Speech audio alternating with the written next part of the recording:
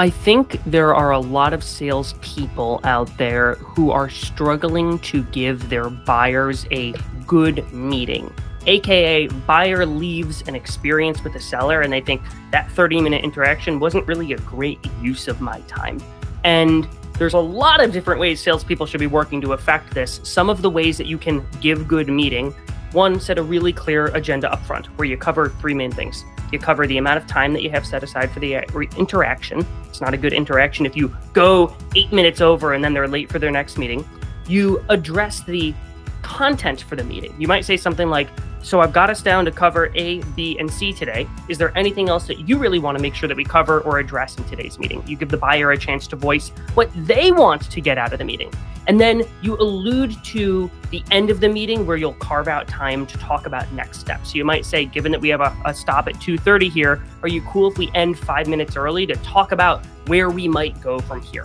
And what you're doing is you are setting aside intentional time to cover the content of the meeting, but you're also setting aside intentional time to talk about where we go from here, even if where we go from here is we gracefully part ways. So I think big trend is buyers are having a crummy experience with salespeople, and it's so easy to solve. It's as simple as sellers saying, Hey, how can I make sure that this 30 minute, minute interaction is a valuable use of your time?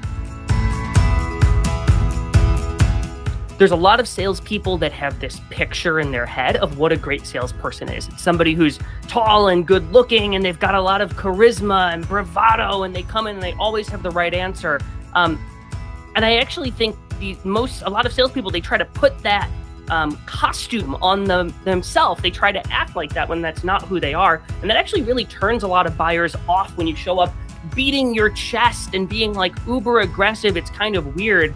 Um, actually the best salespeople I've met are sometimes a little more reserved. They're often more thoughtful. They're often not the ones who immediately get what the buyer's saying, which seems counterintuitive. You would think that the salespeople that are the smartest are the ones who do the best as sellers, but actually the best salespeople are the ones who ask the customer, hey, can you clarify what you meant by that? Or you said that lead generation is important to you.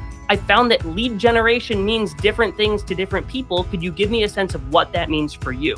You should not be the the salesperson who instantly understands what the buyer means every time because people communicate and have different definitions of terms. And so drop the bravado. It's okay to not always have the answer right away. And it's okay to tell the buyer, I did not understand what you just said. Could you help me understand that? Could you rephrase that? if you think about ending a demo call and the first time that you address next steps is at the end of the demo call, you've actually made an error. I talked about earlier in the agenda, you should be talking about the next steps at the end of the meeting. And so you have to allude to that in the beginning. So at the beginning of the meeting, uh, when I'm setting my agenda, let's say I'm showing a software demo, right? I'm going to say to the buyer, hey, um, Dave, typically these demos that we do end up going one of two ways you might see the software and say, hey, this isn't a fit for us. I don't like it. And if that's the case, you won't hurt my feelings. I'm not the guy who built the software, I'm the guy who's going to show it to you. Um, the other outcome might be that you say, hey, this looks relatively interesting. It might be worth doing some deeper due diligence on this. Um, if that's the case, usually what folks will want to do next is they're going to want their IT team to do a security review to make sure this matches all of our specifications, et cetera. Um, I guess given that we have a stop at 2:30 today, are you cool if we end at 2:25 to talk about whether or not we move to that next step? Now, keep in mind, I'm saying that at the beginning of the meeting. I'm saying this stuff up front. Buyer's always going to say, "Sure, yeah, we can we can carve out time to make a no or no go decision." And if they don't agree with that, you should have a conversation up front about well, what do you see the outcome of this being? Like, if that's not the next step, where should we go? Or if they say, hey, we're not going to be able to decide today, that's okay. But at least now you have some clarity into the situation. But 85% of your customers will say, no problem, let's end five minutes early and talk about that. And then it's pretty easy. In the last five minutes, you say, hey, we're at 225. I know in the beginning we talked about, you know, you might see this thing and say you didn't like it. Um, or you might say, hey, this might be worth exploring. How are you feeling? Simple, easy. But the key is not the magic words you say at the end. The key is you let them know the ask for a discussion around next steps is coming up front. I have a saying which is you should never win a deal alone and you should never lose a deal alone. And what that means is if you are going through an evaluation process with the buyer where they're looking at your thing and going through demos and meetings, and you're the only person that the customer is interacting with, you're giving them a preview into how your organization operates. And most people want to work with an organization that has like a team and it's collaborative. Um, and I think it's a sign of like hubris or ego if you're not pulling your teammates in. You can actually take a lot of pressure off of yourself as a salesperson when you bring in subject matter experts from CS, for example.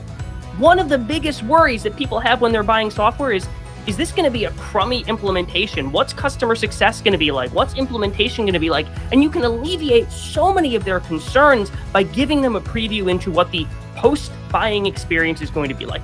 But you're not the master of that domain, and you shouldn't pretend to be. You should bring in the experts to do that. The other thing, and I've learned this, um, I run sales and customer success for my organization, is you will throw worse deals over the fence when you bring CS in. They can help you say, hey, wait, there's a concern here. We should alleviate up front. But then they're going to be more willing to help you. And so when CS is willing to help you, you're going to have a way better selling experience and you'll actually win more business. So it can be hard sometimes to like find the time that works on everybody's calendar, but never, never, never try to win a deal alone. And that will keep you from losing a deal alone.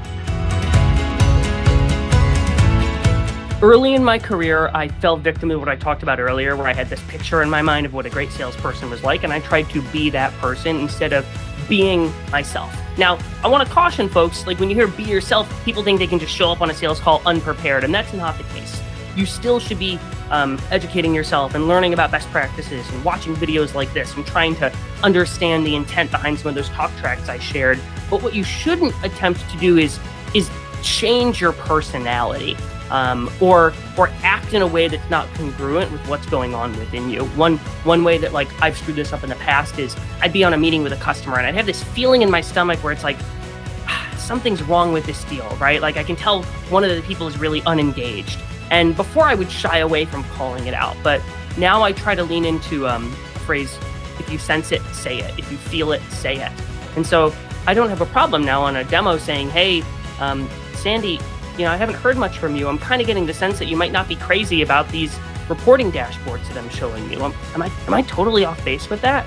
The intent here is if I have a feeling about something that might throw my deal off, I'm going to call it out. I'm not being a jerk, but you have to call it out. You have to be yourself. You have to be true to yourself in a way that matches psychological best practices of selling.